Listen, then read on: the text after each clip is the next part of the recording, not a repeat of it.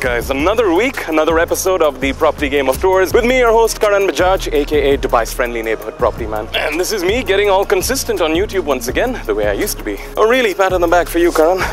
anyway, today I am here to take you guys on a tour in a landmark development. Guaranteed you've never seen something like this before. Probably not. Wait, why did I say probably? You haven't. How do I know? Well, because this development has the longest cantilevered building in the world that honestly looks freaking scary. I mean, would you look at that bridge of a building suspended 100 meters above the ground, just chilling over there like gravity doesn't exist? Now, I don't mean to sound dark, but uh, hopefully that link bridge connecting these two monstrous towers don't end up being a once-in-a-lifetime opportunity for many, if you know what I mean. Snap out of it, because a lot of calculations and careful planning have obviously been gone into today's featured project. So without further ado, I bring you a one-of-a-kind development, One Za'abeel.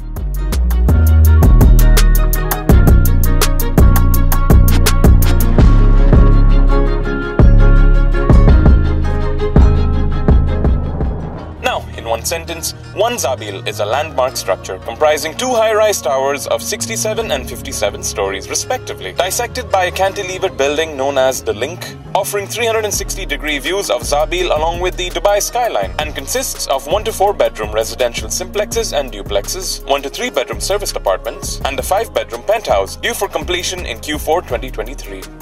Developed by the Investment Corporation of Dubai, this one-of-a-kind mammoth of a landmark towers over the royal low-rise vicinity of Za'abeel and has officially been termed as the longest cantilevered building in the world. With 264 residences, 229 resort guest rooms and suites, 94 service private homes, and over 12,000 square meters of retail GLA. In the suspended link itself, that will have panoramic viewing decks, Michelin-inspired restaurants and lounges with celebrity chefs, and a swimming pool sitting directly on top of the link with views to die for. As for the rest of the amenities, here you go! Okay guys, so right now we are about to check out a 3 bedroom plus maids duplex right here on the 32nd floor of One Za'abeel, fully furnished show apartment. Let's do this. Okay, so immediately upon entering, you can see a nice little foyer over here. Flooring is porcelain by the way, and the uh, door handles are from Hafele. Just gonna talk a little branding here. As I proceed further, to my right, we have the first bedroom. Right, just look at that, basket all in. Um, to my left, actually, from here, we have the uh, section for wardrobes. Let me open some of them actually without spending too much time on them because we have a bunch of other wardrobes open. Okay, you can see ambient lighting that uh, switches on as you open these doors. Right, nice little mirror over here. Hello.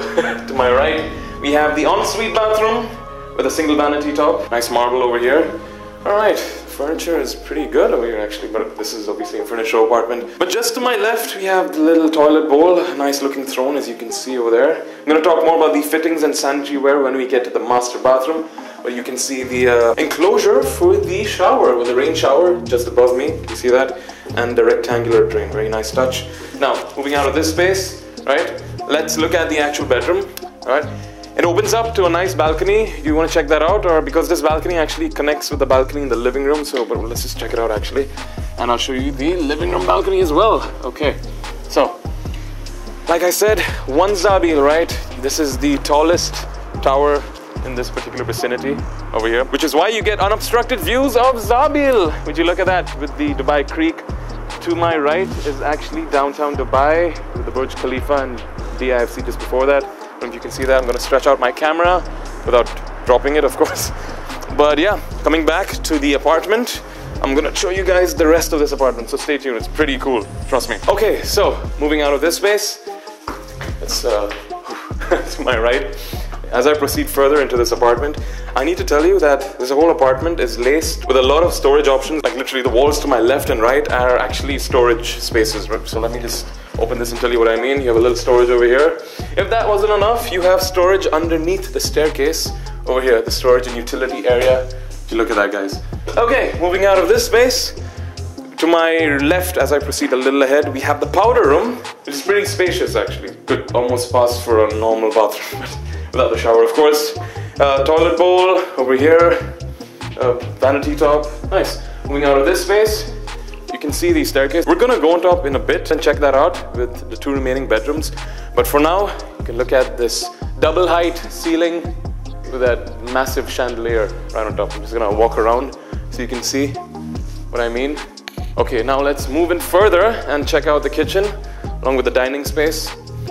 Okay, what do we look at first? You know what, let's enter the kitchen and come out from the other end. To my left, we have the kitchen. with the refrigerator and freezers just ahead of me. These are massive, by the way. So yeah, this is one and two.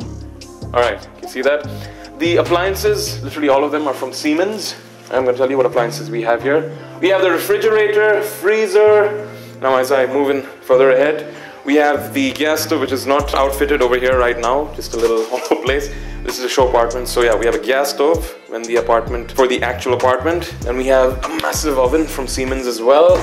A microwave oven just ahead of me from Siemens.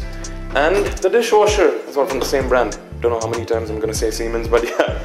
Um, a double bowl kitchen sink from Franke with the sink mixer from Grohe. This one also extends. Look at that, guys. Okay. Oh, and we also have a nice pass-through window over here that opens up pretty wide and you can see that it overlooks the dining space right there. All right, moving on. In terms of storage, like I said, we have ample storage. All of these are actually cabinets that open from this end to the other with self-close hinges. So if I try the slam test, passes easily, as you can see.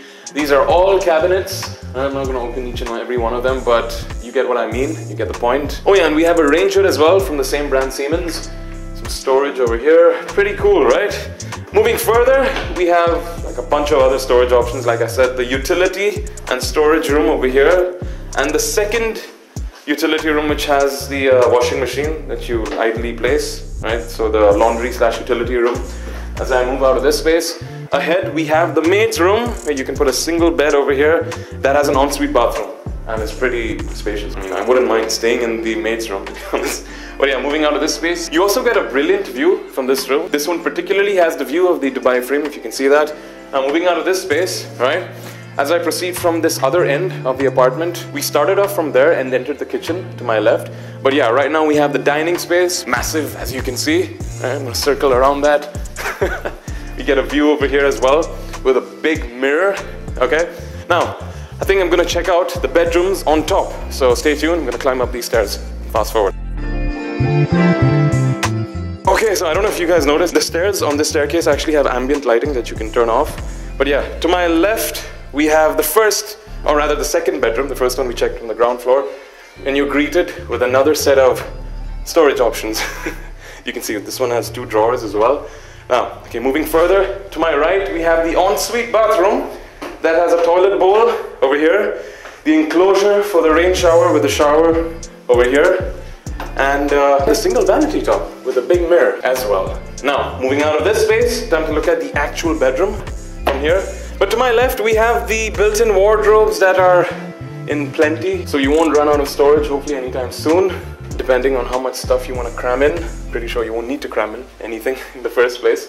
But yeah, okay, I opened that. I'm not gonna open that one because you've already seen these wardrobes. Now we have the actual space for the bedroom, as you can see, right? This one also has a view, but these curtains are in the way, but you get the idea. Basket all in, guys. Okay, I'm gonna check out the third bedroom in this apartment, which is the master bedroom. But as I exit this particular bedroom, you can see that just ahead of me, we have a little space that you can turn into your office or study and uh, overlook your living room from here. You see that? Pretty cool, right? Now, from, let me just circle around this so you guys can see what I mean. Right? Pretty spacious get views of the Dubai frame as well. Now, time to check out the master bedroom over here. As I turn right, you can see that just before entering this master bathroom, to my left, we have a massive section for the built-in wardrobes. I've opened a bunch of wardrobes, but let me just open one of them, just so you guys have an idea for this master bedroom especially. Now, moving further, we have the master bathroom, which is the biggest one over here, obviously.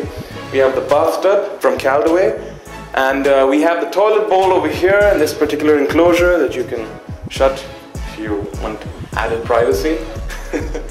and we also have the enclosure right next to it that houses the shower with the rain shower as well. Look at that guys.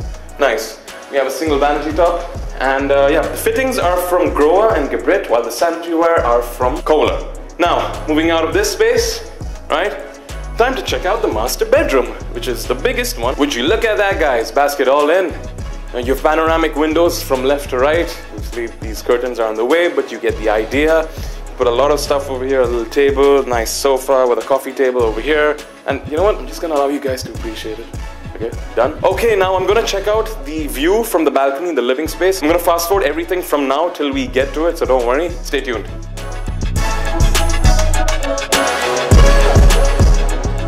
Okay guys, so we are here on the balcony from the living space. You'll have to excuse how messy this particular area is. Obviously this is a show apartment. This whole structure is still not ready yet entirely. So I just wanted to show you guys the view from this particular balcony, right? We have it from this side. Okay, wow. You have Zabeel Park right there. And just looking all around, you can see how expansive these views are because of the absence of buildings, right? You don't have any low to high rise buildings because the vicinity of Zabil is not known to have towers or buildings or anything like that. So yeah, we have the Burj Khalifa over there because this is the same balcony that opens up to the first bedroom that we just saw.